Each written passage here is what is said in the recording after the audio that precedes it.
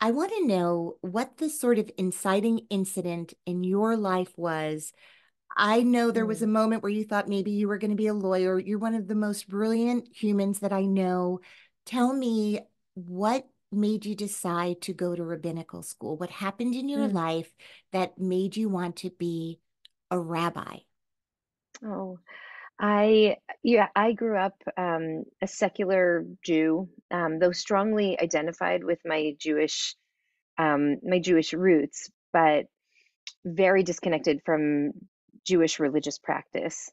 And I ended up through a series of humiliating experiences when I would walk into Jewish environments once I went to college, I just felt like I was the person who knew nothing and I was embarrassed again and again and again. I always, you know, sat down when everyone was standing up. I spoke when you're supposed to be silent. I mean, I just did everything wrong and I felt so embarrassed. This is my tradition. This was my, my great great great grandparents were practicing this and I don't even know enough to know what they rejected.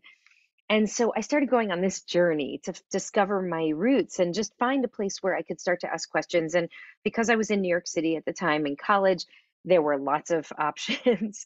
And I went I went with the, you know, the cute boy across the hall who turned out to be my husband years later. Um, we went to we got a list of synagogues in New York City. We went to every single synagogue um, that we one by one by one and I walked out of all of them crying because nobody said hello when we walked in. Nobody told me what page we were on. Nobody, you know, well made us feel like we were welcome in this place. I just felt like I'm an intruder on my own family. I don't fit in even in my own home. And then finally, but then we would go out to dinner and have a glass of wine and talk about it and fall in love. And so eventually, it's this is part of our falling in love montage. So at some point, I ended up at a synagogue on the Upper West Side called B'nai Jeshurun that you um, that you know of, and I walked in and the rabbis were talking. Uh, this was in the early '90s about HIV/AIDS and how it was a moral imperative that we, as Jews and as human beings, spoke honestly and with moral clarity about what was happening and about the way that hatred and cruelty were contributing to the perpetuation of a disease that would become a global um, pandemic and that if we didn't do something immediately that tens of millions of people around the world were going to die. And I, I turned to david sitting next to me and i said oh my god that's what it means to be a jew. We have responsibilities to other human beings. We have to be truthful. We have to be just. We have to be brave. That's what it means. And then they started to sing and everyone rose to their feet and just started dancing and I thought, oh my God, it's not just honest and brave and courageous. It's beautiful and joyous. And that's what I want in my life. So the next semester, I went to Israel. I went to go study in Jerusalem because I thought I'm completely functionally illiterate as a Jew. I don't know, I don't know anything. And I want to learn. And I kind of immersed myself in this environment in Jerusalem where I could just drink in everything. And try to understand how this fit into my life. I was still fully intending to become a civil rights attorney at this point. And then I had one crazy Shabbat, one one weekend in the old city in Jerusalem, and I actually had this realization that the great agents of social change, the people who I admired most and who actually had inspired me to want to become a civil rights attorney and had made me into an activist, a justice, you know, activist, were people who had faith. Meant most of them, if not all of them, were people who had a core story. And I realized that some of their stories were also my story.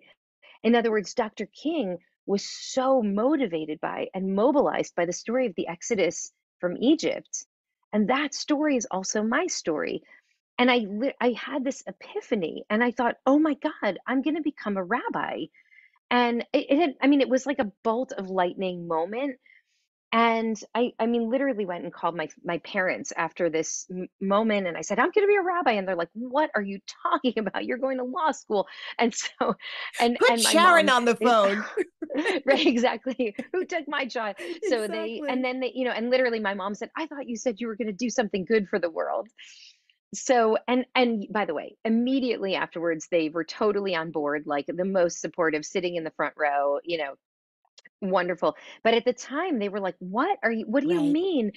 And I realized that part of what I needed to do was translate these ancient stories, which survived in this world for a reason, into a discourse of social transformation for our time. And that that path was a Jew, what my path was a Jewish path, but the people who are most closely my partners in this work were actually weren't Jews. They were people from other faith traditions who similarly found the impetus for social change, the impetus for our work in building a just and loving world from their own traditions, from their own sacred narratives. And for me, that was really transformative part of the journey. And and so I've oh from the beginning been looking for, you know, who are the partners? Who are the allies? Where is the where are the people who are driven by ancient core narratives to build a world transformed, a world of love and a world of justice. And I'm so inspired by that. And by the way, along the way, lots of partners who don't have ancient stories and narratives, but also share the dream of a world in which people take care of each other and are gentle with one another and tender and loving. And that, I believe, is the world that we have to continue to lift our gaze to see because it's so hard in this moment when people are so cruel to each other, and especially when religious traditions are at the heart of so much of that cruelty, to really offer a radically different view and to say this is also a legitimate, authentic expression of this very ancient story. And this story really is about love and dignity and justice. This story is about recognizing that every single person is created in God's own image and therefore deserves to live in dignity. And there's a there's a little um, story that I share in chapter three of the book. Um, this is a text that I first heard from one of my friends, a great teacher, Rabbi Shai Held. Um, some I don't know, 20 years ago, he shared this story from our tradition that every person this this is like 1600 years old. Every person wherever we go is surrounded by a procession of angels singing and blowing the shofar and saying make way for an image of the holy one is approaching. And it's just like i just beg us to imagine what would it mean to go to you know to, to the market to walk down the street and imagine that every single person who's warming themselves on the you know on the steam from the you know from the subway is created in the image of god is surrounded by a procession of angels blowing horns saying hey wake up people. This is an image of the holy one. And what would it mean if we engaged each other in that way? And when somebody's hurting and the last thing i want to do is be close to your pain because it reminds me that i am also vulnerable and could also experience pain instead to hear the shofar to hear the horn and to hear the angels and to say, My God, this is an image of the Holy One too. So, how can I engage this person with love because she deserves it just like I do?